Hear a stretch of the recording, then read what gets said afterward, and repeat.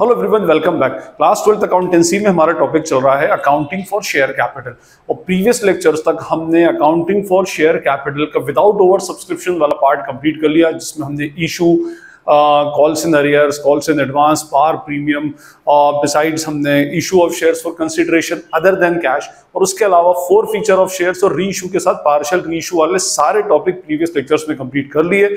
पूरे चैप्टर की प्लेलिस्ट के लिंक नीचे डिस्क्रिप्शन बॉक्स में है, आप वहाँ से जाकर उसको फॉलो कर सकते हैं फाइन अब हम इसमें आगे बढ़ते हैं हमारे सेकंड पार्ट के ऊपर, और सेकंड पार्ट है हमारा over subscription and under subscription तो इस लेक्चर में स्पेशली हम डिस्कस करेंगे about the under subscription of shares जब हमारे शेयर्स अंडर सब्सक्राइब होते हैं मीन जितने की हमने शेयर्स इशू किए हैं, उससे कम की एक्चुअली हमारे पास एप्लीकेशन आएँगी तो उसमें उसका अकाउंटिंग ट्रीटमेंट और उसका बेसिक कंसेप्ट एक्चुअली क्या होगा?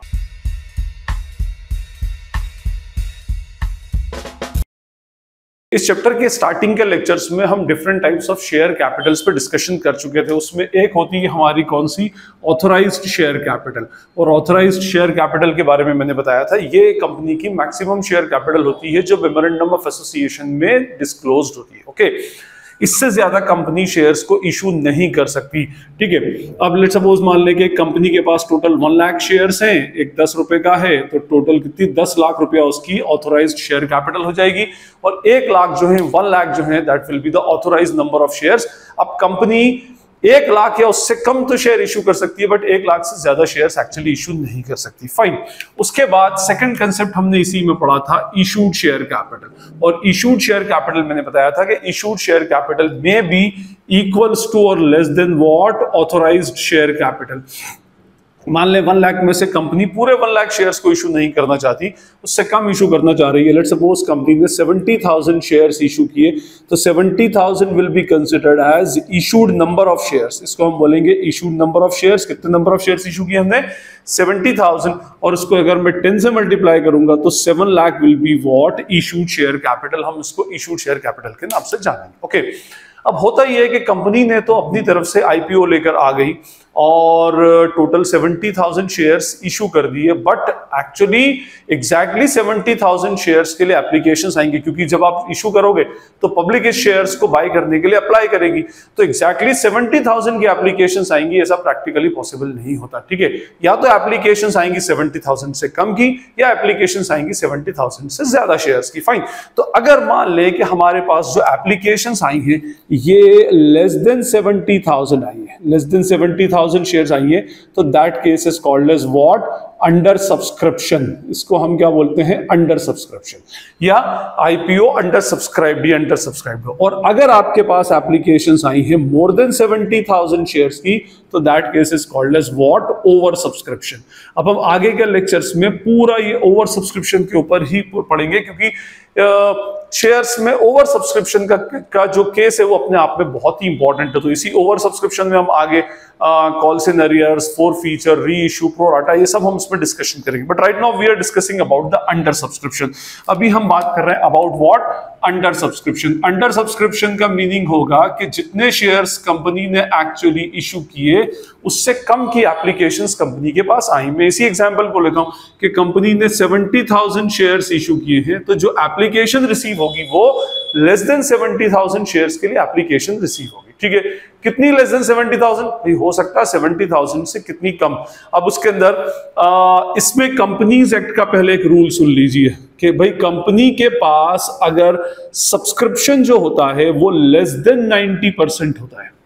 Less than 90 percent of the issued shares इसका मीनिंग ये हुआ कि अगर 70,000 शेयर्स इशू किए गए हैं तो कंपनी के पास कम से कम 63,000 शेयर्स की एप्लीकेशन आना कंपलसरी और अगर एप्लीकेशन नहीं आई तो कंपनी को इस पूरे आईपीओ को कैंसिल करना पड़ेगा और जो 63,000 के ऊपर एप्लीकेशन मनी रिसीव हुई है उसको रिटर्न करना पड़ेगा और फिर कुछ टाइम के बाद में फिर से नया आईपीओ मार्केट में इंट्रोड्यूस करना पड़ेगा नई कैपिटल को रेस करने के लिए। मीन्स अगर जितने शेयर्स इशू किए गए उसका 90 परसेंट से कम का सब्सक्रिप्शन होता है उससे 90 परसेंट से कम की एप्लीकेशंस आती हैं तो आपको उस केस में पूरा सब्सक्रिप्शन जो है पूरा इशू जो है पूरा आईपीओ को कैंसिल करना पड़ेगा।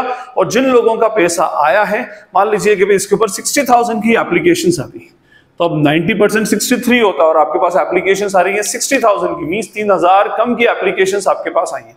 तो अब आप पूरा आईपीओ कैंसिल कीजिए और उसके बाद में फिर वो सब जो जो साठ हज़ार लोगों ने आपको एप्लीकेशन मनी पे किया लेट सपोज़ दो रुपया, एक लाख बीस तो one lakh twenty thousand rupees आपको पार्टीज़ को या उन शेयर होल्डर्स को। शेयर होल्डर्स अभी नहीं बने वो।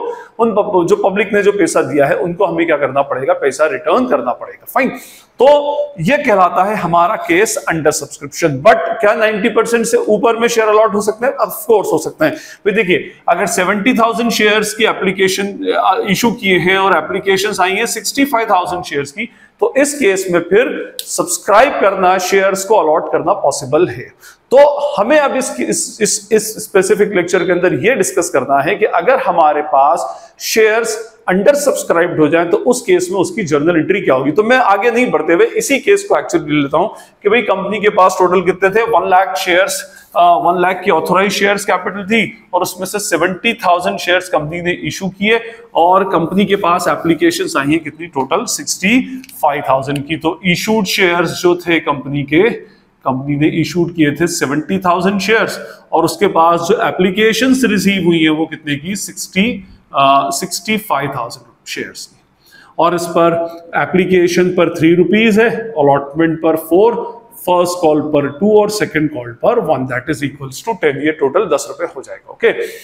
अब ये 65,000 शेयर्स पर एप्लीकेशंस आई हैं। तो सबसे पहले आप ये चेक कीजिएगा कि जो एप्लीकेशंस आई हैं वो 90 परसेंट से कम तो नहीं है और यहाँ पर नहीं है। 70,000 का 90 परसेंट होता है 60,000 and we have received applications of of 65,000 shares चलिए जी ये भी आ गए अपने पास। अब एक बात इसके अंदर याद रखिएगा कि वैसे तो आपने 70,000 शेयर्स इशू किए थे पर आपके पास एप्लीकेशन 65,000 की ही आई। तो अब आपके पास कोई दूसरा ऑप्शन भी नहीं है कोई दूसरा चारा नहीं है कि अब आप सिक्सटी फाइव थाउज़ेंड के अलावा और शेयर्स को क्या कर सके अलॉट कर सके, क्योंकि एप्लीकेशन ही आपको रिसीव नहीं हो तो। इन दैट केस पूरा जो क्वेश्चन है फ्रॉम स्टार्टिंग टू एंड सारी जो आठ, इस केस में आठ एंट्रीज होंगी, पूरी की पूरी आठ एंट्रीज जो होंगी, वो पूरी सिक्सटी फाइव थाउज़ेंड शेयर्स पर ही होगी, फिर उस केस में अब सेवेंटी फाइव थाउज़ेंड का इंपॉर्टेंस खत्म हो जाता है।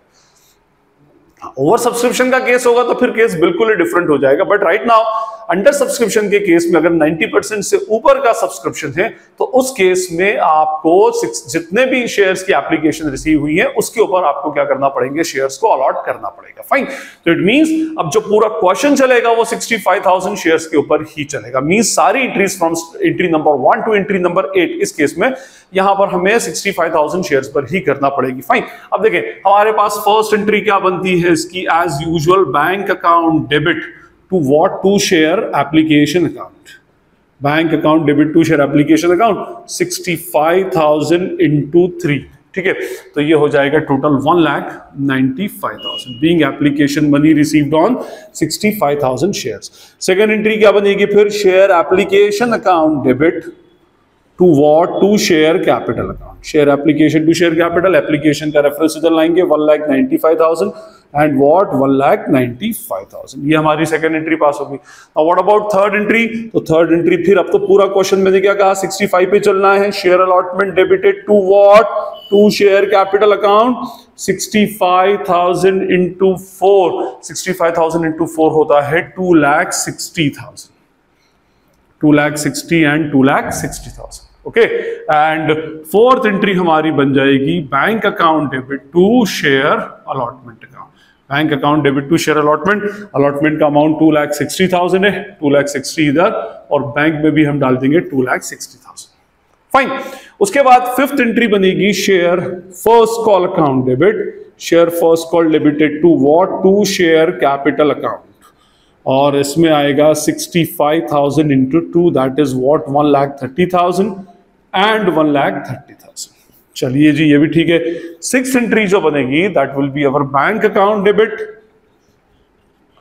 to share first call bank account debit to share first call by rupees one lakh thirty thousand and one lakh thirty thousand ठीक है, ये हमारी टोटल सिक्स एंट्रीज हुई। सेवंथ एंट्री हमारी बन जाएगी share second and final call debit to share capital account share second and final call to share capital 65,000 into 1 that is what 65,000 and 65,000 and finally entry number 8 क्या बन जाएगी bank account debit to share second and final call by rupees 65,000 and 65,000 ठीक है जी? तो ये मैंने आपको increase भी करके बता दी। वैसे इसका एक सिंपल सा फंडा ये है कि अगर आपका सब्सक्रिप्शन 90 परसेंट के अबव है तो आप उतने शेयर्स को सब्सक्राइब कर दीजिए।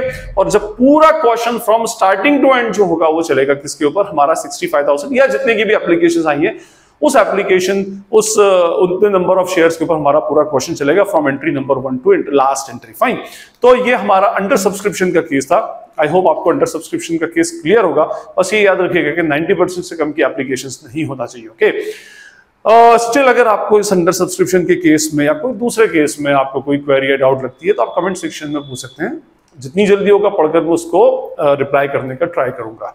और अगर आपको ये लेक्चर यूजफुल लगता है तो उसे अपने फ्रेंड्स के साथ शेयर करें चैनल को सब्सक्राइब करें और वीडियो को लाइक करें। Najeeb Hashmi signing off from Najeeb Hashmi secondary thank you